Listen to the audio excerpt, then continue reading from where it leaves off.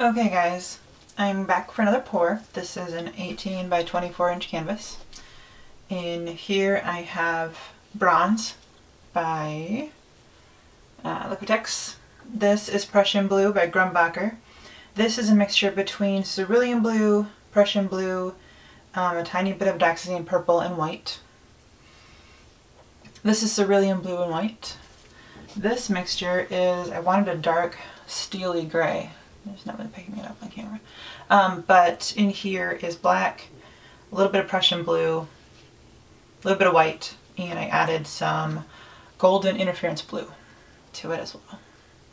And I'm hoping that will kind of um, catch the light when it's dried. So I'm using this as opposed to black for a stronger contrast, but also more muted and not quite as bold as black would be. Um, this one is this color, but with white, so it's lighter. And this one is brilliant blue. Oh well. Um, and then under my canvas, I've got two foil disposable 13 by 9 inch cake pans, and they're set apart so that um, you can see the paint from the edges will flow into it, and then I've got um, paper underneath to kind of help soak up the excess paint.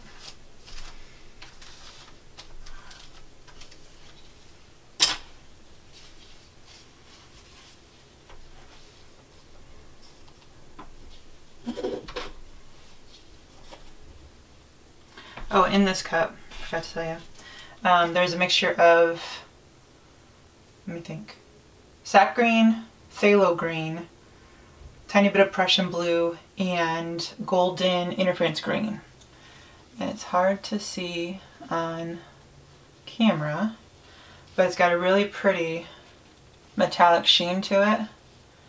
It's not picking it up, but it's a nice dark hunter green.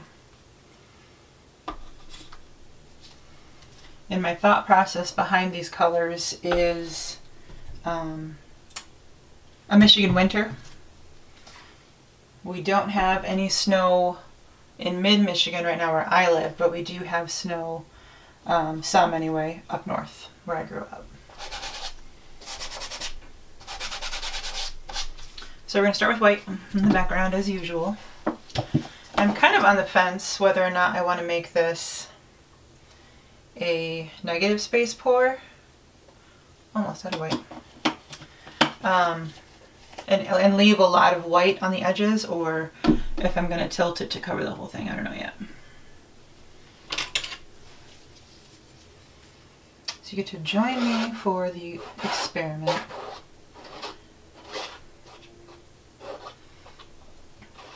And in my paint mixture, I use a ratio of 2 to 1 between two parts flow Floetrol, one part paint, and then just enough water, something in there, um, to help it flow. And my consistency is when you can pour it off your stir stick in a ribbon and it leaves a slight mound in the cup before it falls in and, and evens out. And I'll show you what I mean here in a second. There's some blue paint somewhere on my glove on my knife.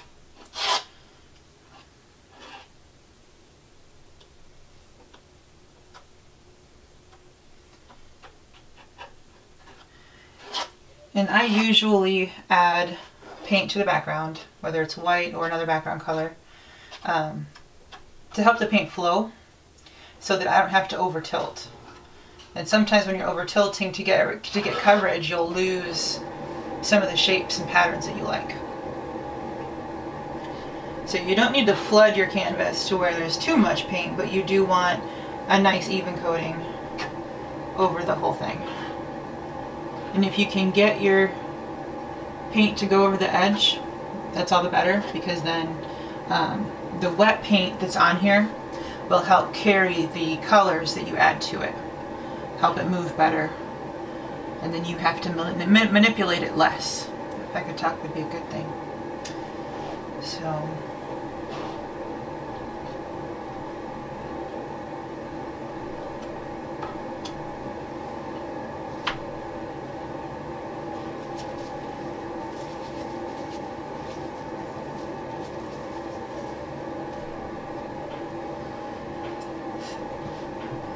also um, taken to putting my white base in a squeezy bottle. You can get these on Amazon. They're like, I don't know, six or eight bucks for a pack of six of them.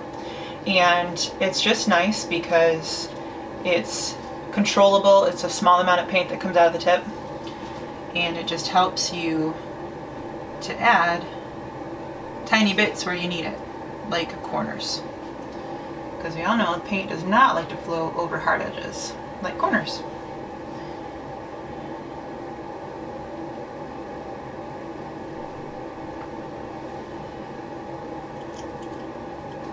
You can do this before or after you pour your colors. I do it both ways.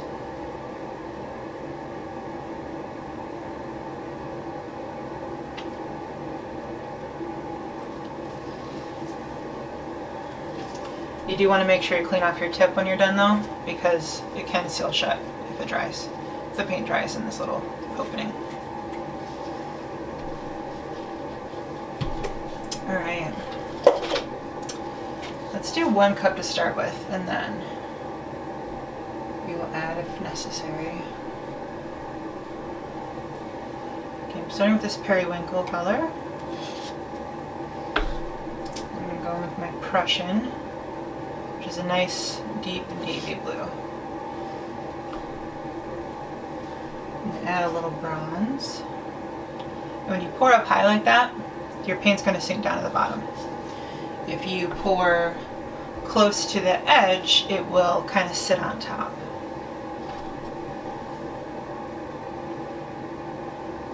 Like that. And then I'm going to go in with my super pale blue mixture.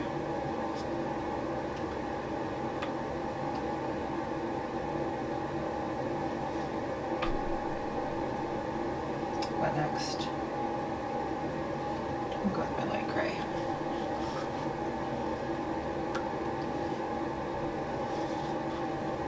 I do want this to be a little bit more muted if I can get away with it, so we'll see how it turns out.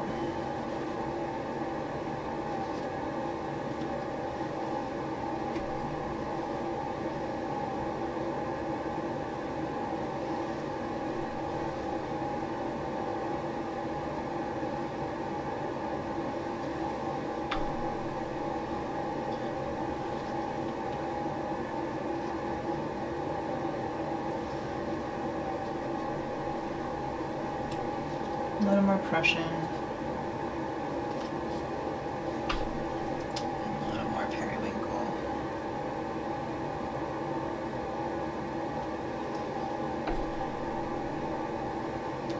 And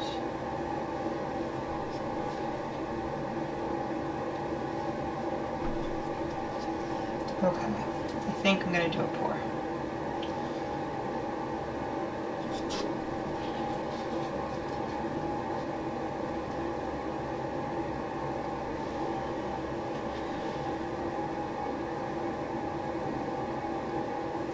Now I don't add any silicone to my paint because I'm not after a big cell pattern. I'm going to move you in a little bit so you can see how this is developing. So I have a lot in here. And I think that's due to the Floetrol.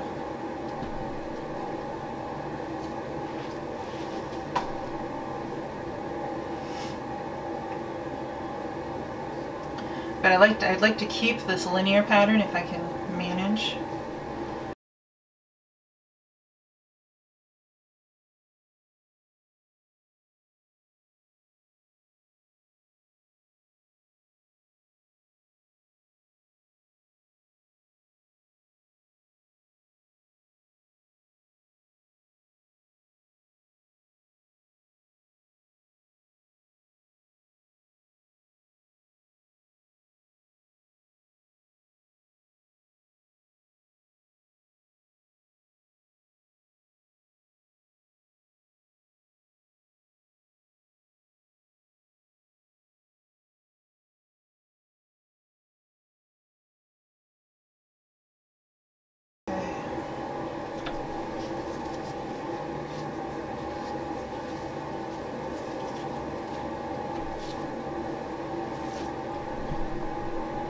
I'm gonna move you back out so you can see the whole thing again.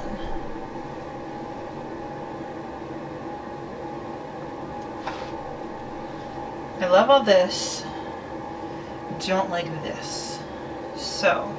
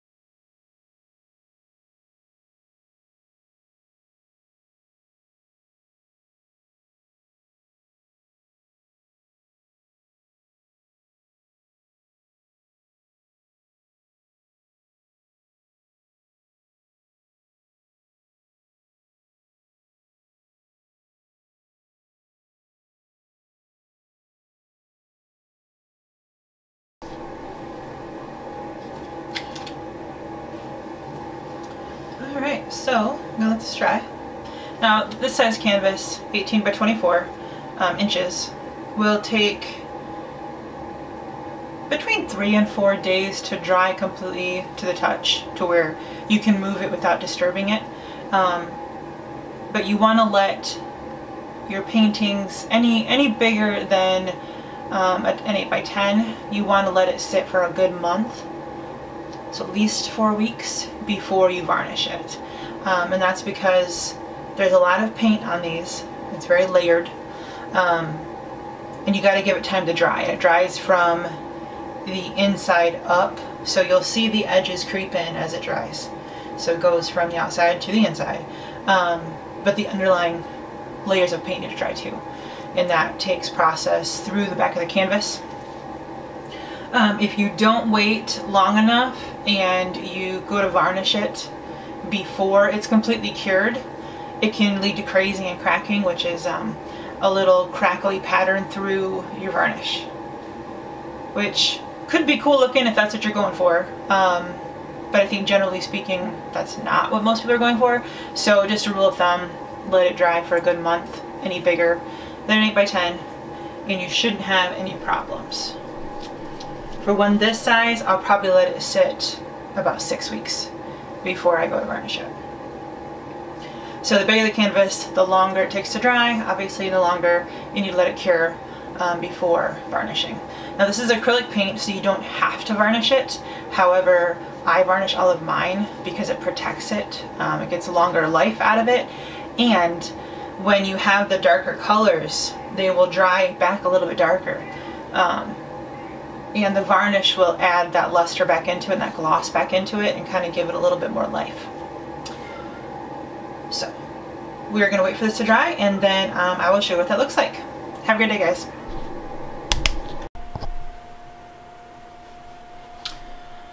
So this is the gray and blue dry and I'm calling this uh, Michigan Winter. I think the colors are really pretty and really reminiscent of um, cold, snowy, icy um, Michigan winter.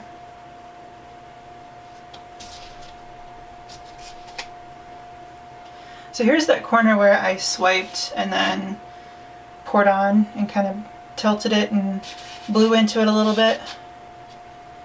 I was curious to see how that one was going to dry and I really like it. I like this patch of icy blue here. I like how the bronze kind of threaded through with the blue and the gray.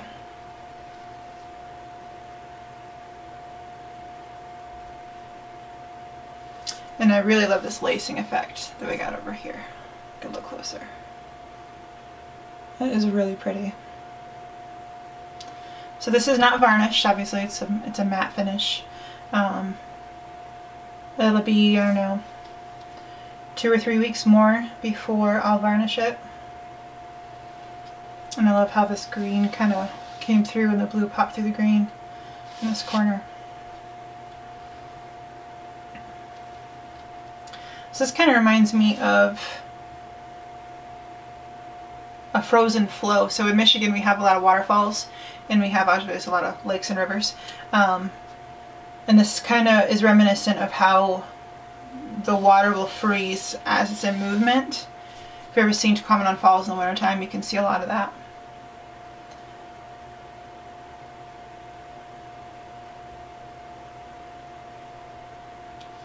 And if you've ever been up on Lake Superior um, in Sault Ste. Marie, Michigan, you'll see um, sometimes the ice will kind of shelve up on itself um, and kind of get different hues of brown and blue. And that's always really pretty too. So yeah, there's the piece dry. Hope you like it. Let me know in the comments below what you think and we will catch you guys on the next one. Have a good day guys. Bye bye.